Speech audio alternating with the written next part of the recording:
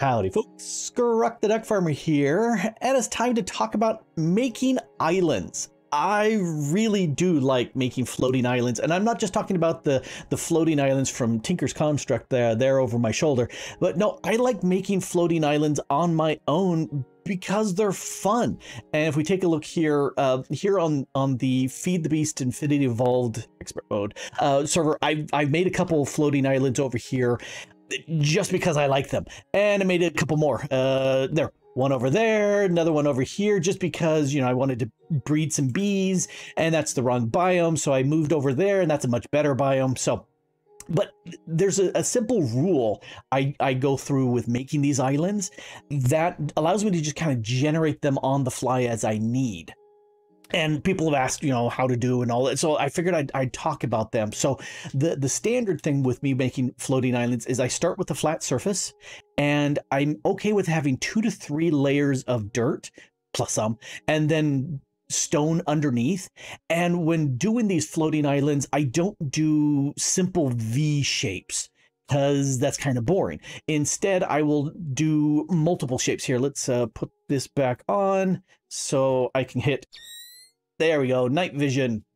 So if you look at this island here, it's kind of got a V shape, but there's chunks. So like here's a mini little island underneath here, and there's a, a, a space here. This is a little bit uh, goes in. Uh, different shapes. So here's another one where this has like a little mini island piece over here. There's a main body over here. There's another little piece over here. There's another little piece over here. They it gives more contrast than than going with just a simple V. So I, I do that a lot. And then this over here, I haven't done the island bottom, bottom for it yet. So we'll ignore that one for right now. Uh, and they could be big like that, or they could be smaller like this one here. This is a much smaller island.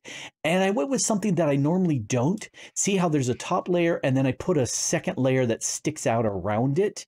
Normally the top layer is the top layer and this one has like a layer going below and then again three layers of dirt typically and then you know stone can start in there and then drops down over here is another example of, of what i talk about you know from a distance in that this is an island where it, it kind of but not really has a v shape in that uh, there's a, a V shape over here, there's a V shape here, and it extends out. So it's it's a wider because we come over on this side. This is a narrower side uh, this is wider, so it's it's an ovally sort of shape.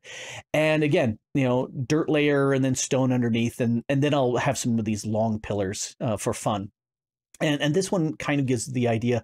I have the the top layer, and I may occasionally have a, a piece sticking out that's a layer down, but I tend not to do what I did over there, where there's a layer going all the way around. It just doesn't quite work it for me. Uh, anyway, this is this is what I do I, I like making these, and they're not really all that hard to do. It just takes a little bit of time, but that's okay. What do you got, you know, time to do? You can watch movies while you're making islands because it's fun. All right, uh, let's jump over into, let me get a solid underneath the, all right, uh, let's jump out of here and make a a void world and play with this. So if we go to here, uh, that's actually the seed. I like making a, a seed of the world. If I've got it, void, void with a D, and uh, we'll do it with one L. All right, uh, I because I'm going to be designing, I always switch to creative, switch over to here, default uh, super flat. I'm going to do a preset. This is 1.7. It doesn't have a good void world. So I'm going to delete everything out of here and paste in that. 2 semicolon, 0 semicolon, 127 semicolon. And that's what I'm going to use. And there. One layer of air. That's it for the world. And that's all I need. Uh, some of the newer ones actually give you a platform of stone underneath you. This does not. So, uh, what you need to do is be really quick with the spacebar because you'll start falling into the void as soon as you load. Let's see how fast I can do this without dying in the void.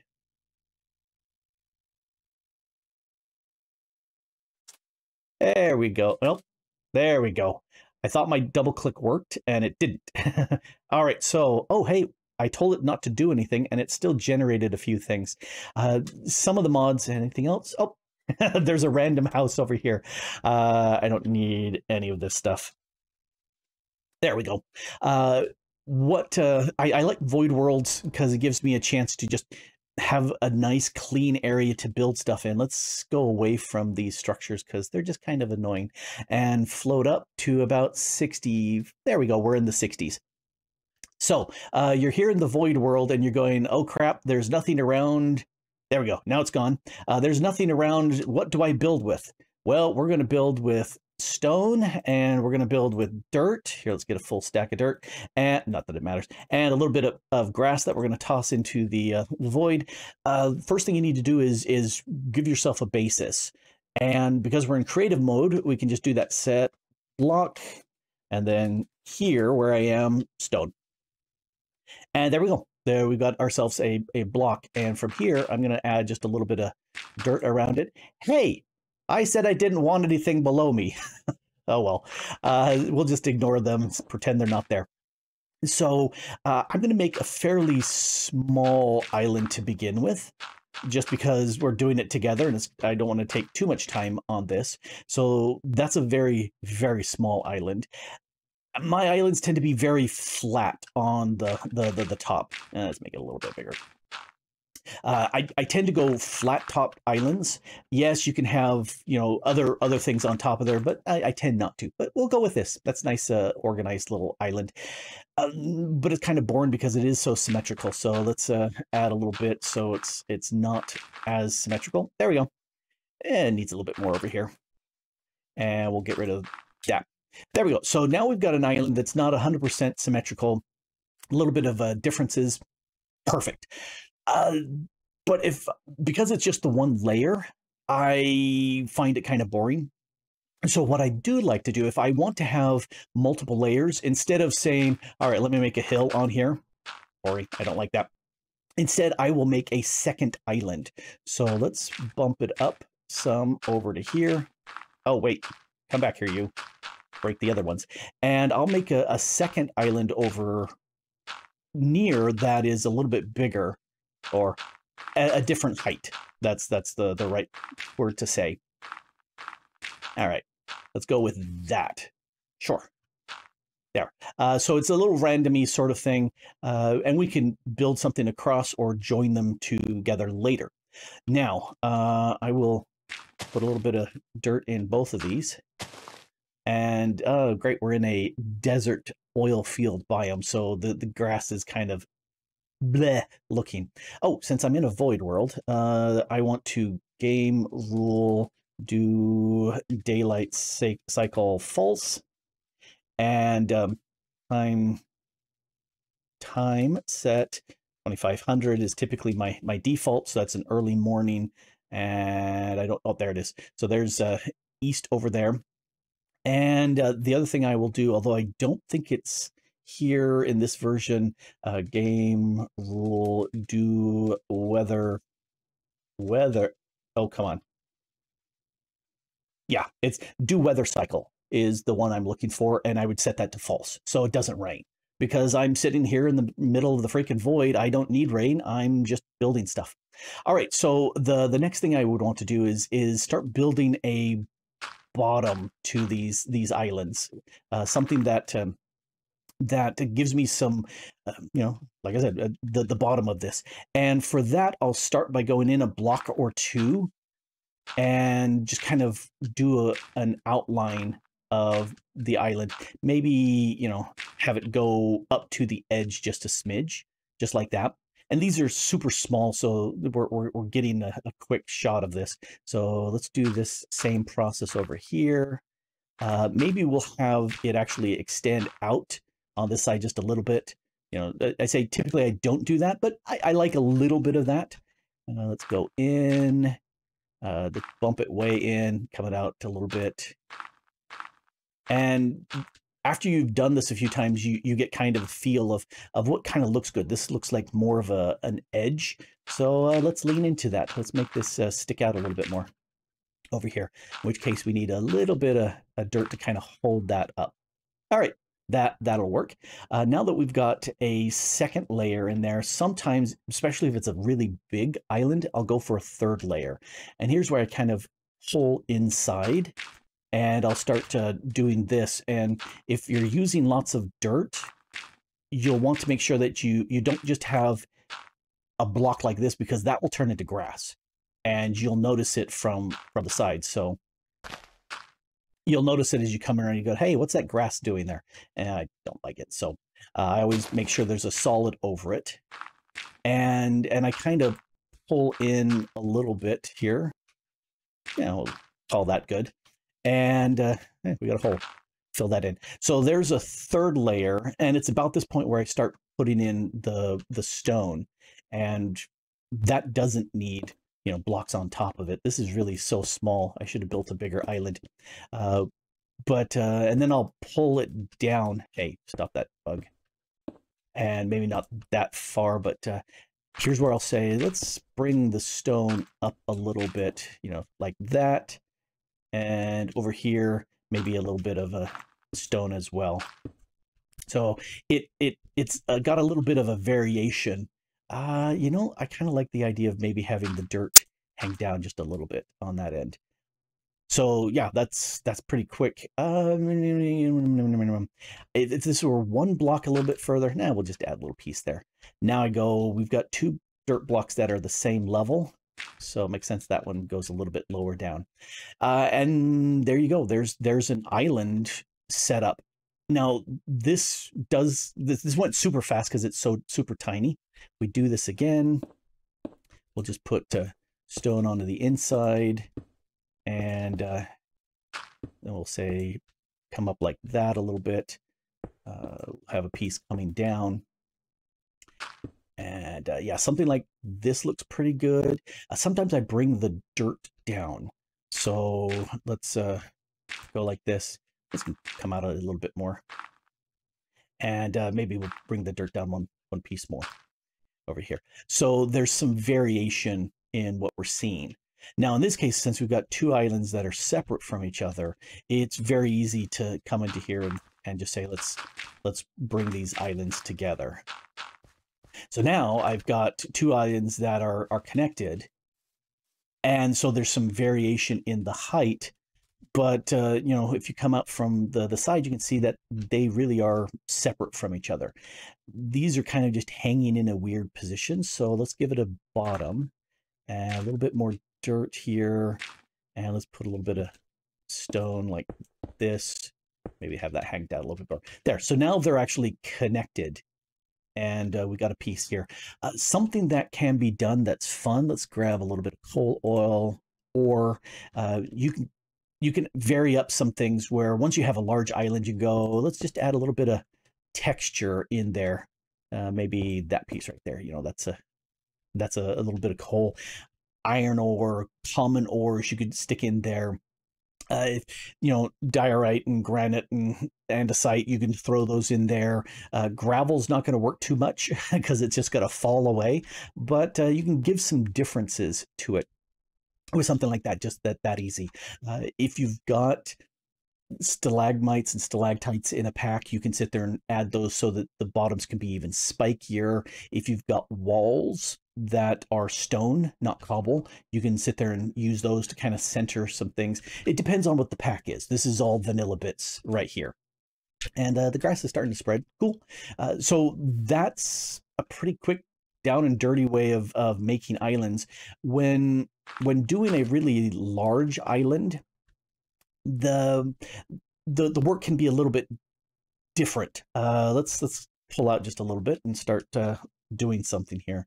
Um, yeah, let's uh, set another stone block over here.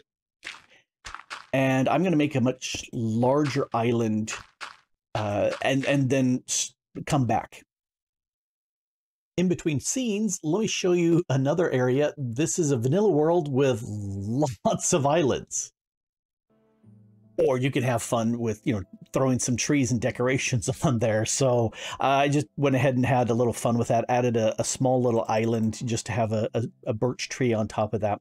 Uh, all right, so over here we've got a, a bigger island, and let's uh, go through the the process of making this uh, again. Uh, again, I, I come in here and I go in a block Uh, maybe have one go up closer to that. Uh, just to pull one or two blocks away from the edge. Uh, I used to be one away so that you know you'd start here and there would have to be you'd have to go in one block and you get very rectangularly static uh, islands with that uh, where everything is 45 degrees and that's just kind of bleh uh, so it, it pulls in it's a little bit uh, lower uh, that's exactly what i'm looking for and let's uh, start with the stone at this level just because. And sometimes i'll i'll pull the stone in and I don't necessarily need to have the the the, the stone come in a, a 45 stair you know 45 degree stair step sort of method method. I i can sit there and have uh, pieces come in like this. And uh, let's have we'll have it come down over here. And then we'll uh, bring it down a little bit over here this will, come in like that pull it down uh i'm gonna have the stone be out a little bit higher here. We'll go with that. And you can see really quickly you've you've tightened this in. Uh, we'll pull this in. Let's have it go down some more over here. Uh, fill in the holes. And now I've got a flat space. But notice how it's not completely symmetrical. Well, let's make that go out a little bit more. Uh, the you know there because I I varied it and a little bit. We've got some differences in the normal uh, structure of what, what you would expect for a floating island. I'll put a little bit of bits on that. Uh, maybe that pulled that down, that down a little bit more. Uh, this looks really flat here, so I think I'm going to, uh, yeah, just just popping that little piece out. So instead of having a solid V, this is two V's for the island. And to me, that works better. And then I'll start going around saying, uh, let's bring the dirt down a little bit here and we'll uh, make the the stone go up here a little bit uh, put a little piece there uh, i wouldn't leave the empty holes inside there I'd, I'd fill them up or i would use torches or lights of some sort to uh, just make sure that uh, that we can see everything let's put a dirt there and just just to kind of give it a little bit of uh, variation. Now this is super tiny again. Uh, quite often I like making stuff that's a full chunk as like the smallest island, but square is pretty ugly, so is complete round. So I'll try to make it as ragged as possible. Uh, this one actually doesn't have any overhangs, which is unusual. Normally I have a few overhangs. Let's let's put in a little bit of an overhang here. Uh, go like that. So there's a little bit of an overhang of uh, some of the dirt, and you can have fun with that. Uh, in fact, let me grab my uh, watering can because then I can drag some grass around. Boom, done. Grass, easy. Uh, let's add some bone meal. Uh, bone meal can be kind of ugly in that it just randomly gives you clumps of grass, but I'll start with just spamming that around and um, maybe go through and say, you need to be tall and you need to be tall. You could be tall, you know, just to give it a little bit more variation. And quite often I'll say, be gone flowers. I don't want any flowers on my my island. At least not the the poppies and the dandelions. So we'll get rid of these guys. And I can put in whatever else I want. And so at, at this point, now it's ready to build a house on, clear it out a little bit more, in fact, let's uh, let's throw another rainbow tree on here. Just because those are are fun uh, because of the, the, the textures they have, and let's get a little bit of a gra not grass glass. Unfortunately, it's so slow as it's searching through this. Well, that's okay. Uh, the the trick I use if I want to force a tall tree is too high and then kitty corner to that the uh, tree I want to grow. And let's go. It will resist. Let's get rid of that grass and see if we can a little space. Uh, there we go. And that forced it to be a tall uh, tree as opposed to the, the short dumpy saplings. And, uh, you know, because, you know, short dumpy, that's not much fun. Uh, let's put in, you know, I like dark oaks. Let's put in a dark oak over here. And it's going to interact a little bit with, with that probably, but we'll see. There we go, dark oak. Yep, it's kind of overlapping and stuff. But all of a sudden, this becomes way more interesting having greenery and foliage on top, or throw a building on there, or you know whatever decorations you you want to do. Uh, what's also really really fun is to set up a water feature on an island like this, and then oh, let's not just talk about it. Let's do it. So let's grab a bucket here like this, and um, I was I was saying that you know I, I tend not to have things that are higher. Eh, it's true, but uh, you know, somewhat lying. Uh, let's take some dirt, and uh, this is going to get in there. Know, uh, this way it's it's actually dirt here, and we'll put some water there, water there. And so now we've got uh, a water feature here that's pouring down. And, and what if you're in vanilla, this is a way to get back up to this island because you can swim up the water, but then you can also build an island down below and have a pool where this catches into. So you can have, you know, daisy chains of water features uh, that, that look really good. Or do it out of netherrack and use lava, and now you've got a nether island and that's really fun too. Uh, just just fun, lots of uh, possibilities with this. And these are tiny. These are about as small of the islands as I, as I ever make. Uh, I tend to, like we saw uh, on the server, much larger ones. Uh, both of the the witchery and the the blood magic islands are a two by two chunk area and so they're they're much bigger. Uh, it's the same process of do I want to make just straight V's going down? No, I don't. I want to vary it. So here we've got two peaks instead of one. I'll I'll bring it down and then I'll bring it back up and then bring it back down. So you know that it gives it some variety and makes it more interesting to look. Plus, if you use these canopy trees, which are super tall uh, from the Twilight Forest, they do these roots going down, which can be loads of fun. And let's uh, have the stone go down a little bit more on that there uh, floating islands are great uh, it's one of the reasons why i like to get creative flight as fast as possible because that makes it so much easier to do this. Have i done this in you know plain vanilla uh, you know regular uh, survival play? Yes i have and what you need is lots and lots of platforms around to keep you from falling. Build over water if possible because when you fall and you will fall and i have fallen a lot uh, you will fall into the water. And if you've got these uh, these water effects you can get back up onto your island. Even if that's just temporary it allows you to get back up onto your islands. And uh, yeah floating islands it's fun. It's really fun to, to make. It doesn't take long after you build them for a while, you'll start having your own idea of, oh, I like to do this, and and go with that. You know, have fun with building floating islands because they're great. anyway, this has been Grok the Duck Farmer here, talking about floating islands, which I do enjoy. And thanks for watching.